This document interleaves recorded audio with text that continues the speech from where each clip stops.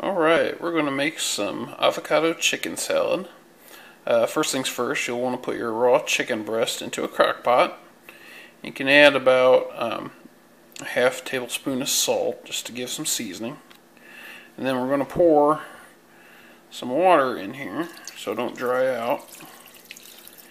You want to just barely cover the chicken with the water. You don't need to fill it too full. Just enough so it covers the chicken. And then we're going to let it cook on high for four hours. And then once it's done, it'll be tender enough to cut up. Start putting together a chicken salad. So let's get okay. After the uh, chicken's done cooking in the crock pot, um, just go ahead and take out however many chicken breasts you want to use. I put one pound of chicken in the crock pot, so three large chicken breasts. I'm actually going to be using only one chicken breast to make this um, round of chicken salad.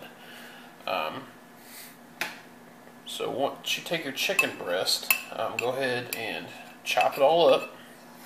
Don't want to get it too fine. You want to leave it somewhat chunky, but at the same time, um, you want the chunks to be rather small. So just be careful when you're chopping it so it's not too fine. Then we'll add our avocado. Use two avocados per chicken breast. So if you're making all three chicken breasts at once, you're going to want to use six avocados. So once you dig out all the avocado out, it's all mashed up, dump it in with the chicken. Now we want to add just a fourth cup mayo.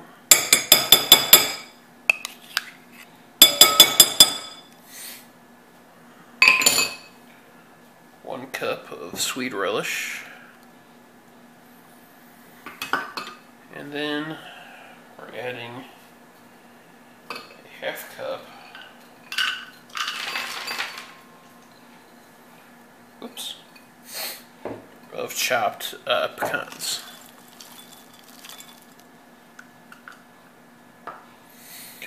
Then we just get all that mixed up.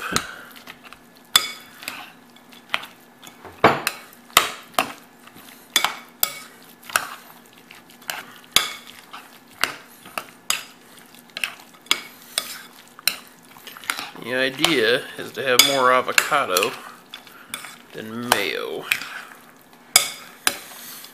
You want that nice strong avocado flavor. If you use less than, uh, if you only use one avocado per chicken breast, it's not going to have a very strong flavor of avocado.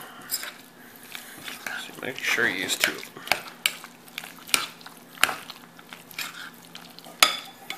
Alright, once we get all that mixed together, good, put it in some bread and have some. Okay, once your chicken salad's all mixed together, use whatever kind of bread you want to make a sandwich.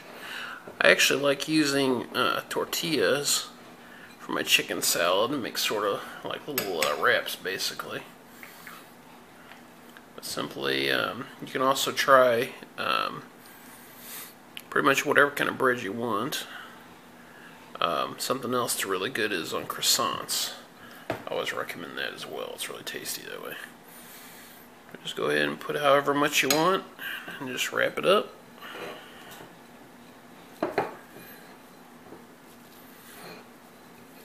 Have a little chicken salad burrito. But uh, there you go.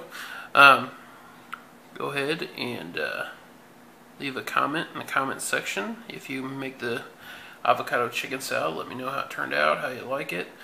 Um, if you made any changes to the recipe, just let me know, see how it, how it does. And uh, if you like it, just hit like and subscribe to the video, and then uh, we'll see you next time.